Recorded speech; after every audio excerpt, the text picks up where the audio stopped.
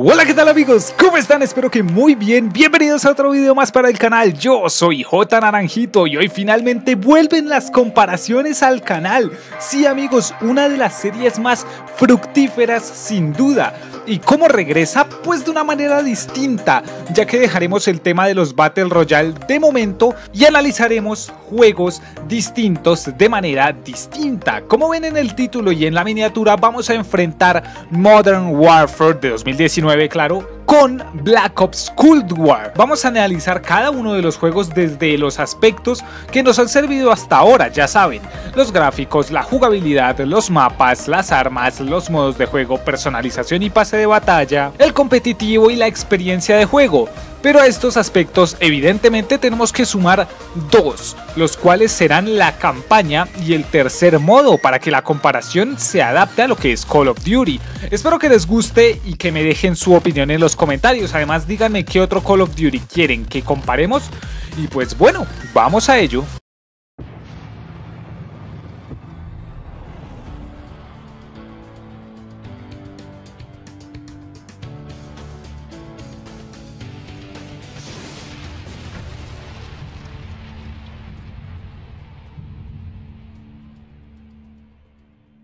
Y como siempre, comencemos con lo primero que nos encontramos. Lo primero que nos entra por los ojos, los gráficos.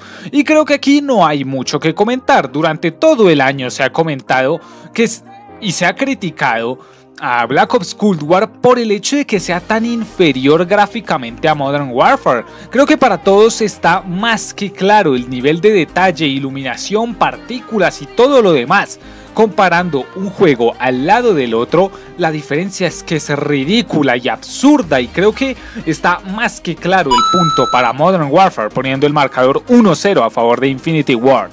Ahora hablemos de la jugabilidad amigos, y esta sí está complicada la verdad, ya que son movilidades muy distintas. Modern Warfare es frecuentemente definido por los conocedores de la saga como el mejor simulador de guerra que hemos tenido en la saga. Es un juego que ya por el mismo motor gráfico es tremendo y es muy realista, es brutal.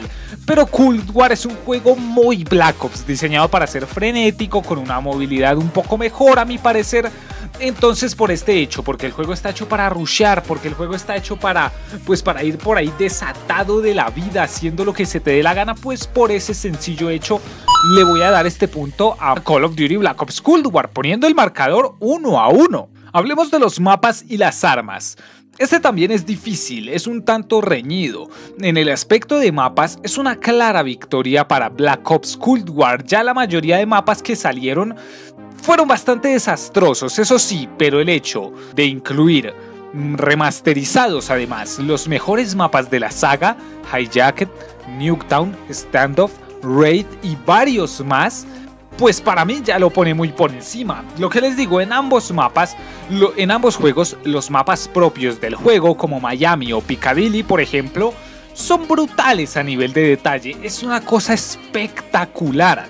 Pero ese mismo nivel de detalle fomenta el campeo, genera muchos spots innecesarios.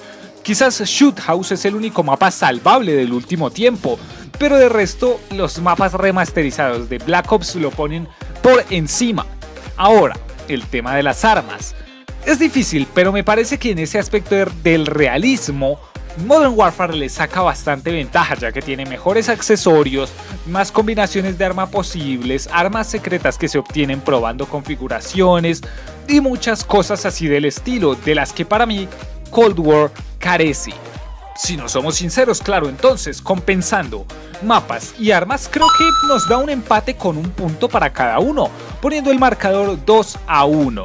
Ya saben que esta es mi opinión, claro pero aún así intento ser lo más imparcial posible. Continuamos con los modos de juego y aquí los dos son bastante variados. Meten buenos modos cada tanto y prácticamente son los mismos modos en ambos juegos.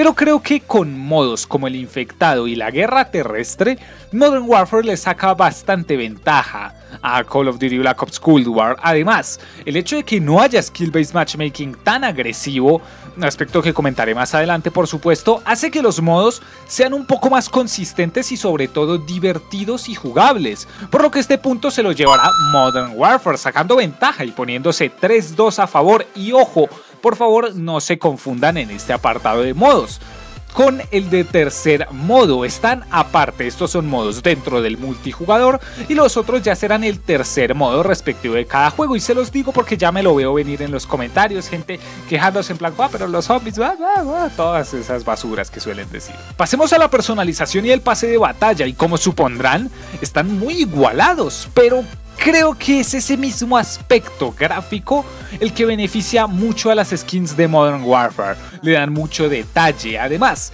en este juego se implementó este asunto de las balas de colores que a mí me parece brutal y se incluyó el que para mí es el mejor camuflaje en la historia de Call of Duty y es el Damasco que estoy pensando conseguir. Es verdad que en Cold War hay cosas como el diamante y la materia oscura, pero como les digo, para mí la ventaja gráfica que tiene Modern Warfare se lleva de largo a Black Ops Cold War, poniendo el marcador 4 a 2 y ojo que Modern Warfare se despega. Aquí en el aspecto del competitivo no hay mucho que comentar, tenemos que sernos sinceros. En Black Ops Cold War el, el skill-based matchmaking es tan tremendo, tan duro, tan agresivo, que cada persona que lo juegue debe ser como mínimo suplente en Optic o en Face Clan para poder jugar, porque el jugador promedio es que es directamente imposible jugarlo. Por eso el competitivo en este juego es aún mejor, es brutal, es, el nivel tryhard en este juego es, está muy por encima. Por lo que tengo que darle este punto obviamente a Cold War, recortando distancias y poniendo el marcador 4-3. Y ojo que, ¿por qué no puede caer una remontada? Hagan sus apuestas. Vamos con una sección debutante aquí en esta comparación y es la de la campaña y creo que aquí tampoco hay mucho que comentar. La campaña de Modern Warfare está muy por encima de la de Black Ops. En primera los gráficos. Si ustedes dirán Juan, pero qué pesado con los gráficos. Sí, perdón. Pero es que el motor gráfico y los gráficos a este juego le dan mucha ventaja en temas de inmersión. Si este juego no tuviera el detalle gráfico que tiene, ninguna de las misiones que tuvo habría tenido el mismo impacto. Ninguna. Por ejemplo, la de Clean House. Ustedes si la imaginan, sin esos gráficos no sería lo mismo para nada. Pero bueno, ustedes dirán, J, qué superficial que eres. Bueno, eh, vamos a ceñirnos al guion y el desarrollo de la misma campaña y también está muy por encima Modern Warfare. Tiene de las misiones más épicas en la historia, de los mejores personajes, con las mejores personalidades y sobre todo, y algo que echaba muy de menos en Call of Duty, desarrollo de personaje. Boss, what the hell are we doing here? We're cleaning up a mess. With women and children. They were leverage. They were hostages. When you take the gloves off, you get blood on your hands, Kyle.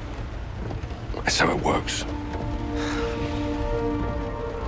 Where do we draw the line, sir? You draw the line wherever you need it, Sergeant.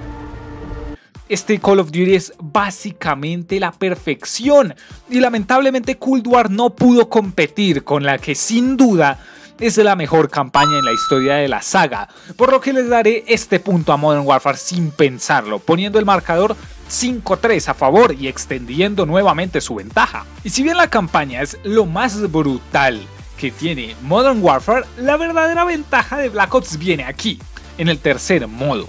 Los zombies, que en el caso de esta entrega son prácticamente los mejores, o sea, creo que encima de estos zombies solo está Black Ops 3 pero eso no le quita ningún mérito, ya que tuvo una infinidad de innovaciones, una nueva y gran historia, mapas con un nivel de detalle y jugabilidad nunca antes visto, la renovación en las bebidas, la renovación en los perks, la renovación en las armas, la renovación en el sistema de compra, en el sistema del éter oscuro, en todo. O sea, este Call of Duty dio un salto cualitativo impresionante a la saga Zombies, que de verdad tenía un tiene un techo muy alto en Black Ops 3, pero Black Ops Cold War está cerca, está cerca. No es que las operaciones especiales de Modern Warfare estén mal, ni mucho menos, son quizás las mejores que tiene la trilogía Modern Warfare, pero si no somos sinceros, no se comparan, no da nivel a los zombies de Black Ops Cold War, poniendo el marcador 5-4 otra vez con Black Ops recortando distancia.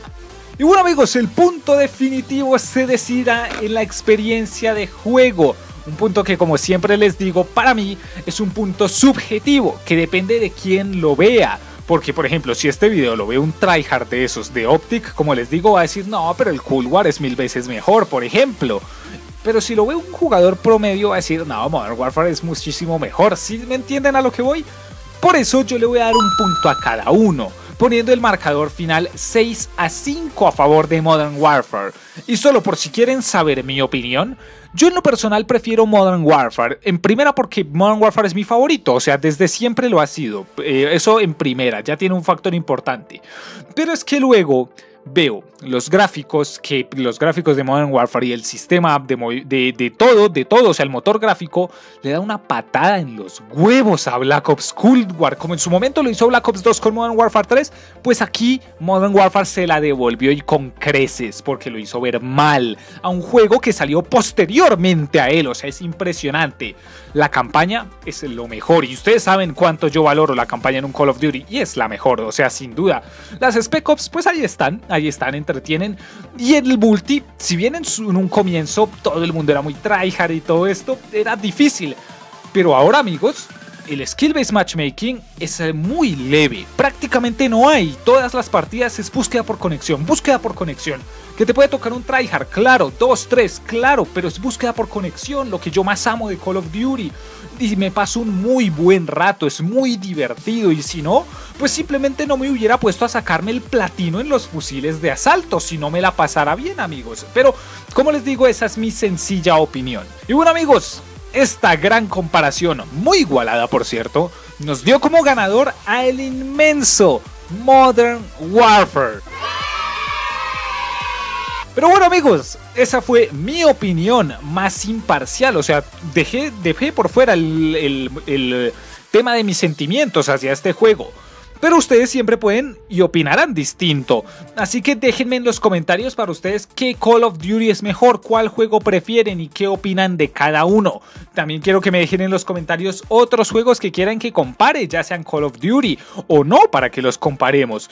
Y bueno, espero que les haya gustado mucho. Muchísimas gracias por verme. Compartir este video siempre se agradece. Si es primera vez que es uno de mis videos, pues ¿por qué no consideras suscribirte, amigo? Este es el bastión del Call of Duty, aquí a cascoporro, día tras día. Call of Duty, Call of Duty, Call of Duty. Entonces, nunca paramos, mi hermano. Entonces, si quieres Call of Duty, este es el canal ideal para ti. Y bueno, muchísimas gracias a todos, amigos, y nos vemos mañana. Adiós.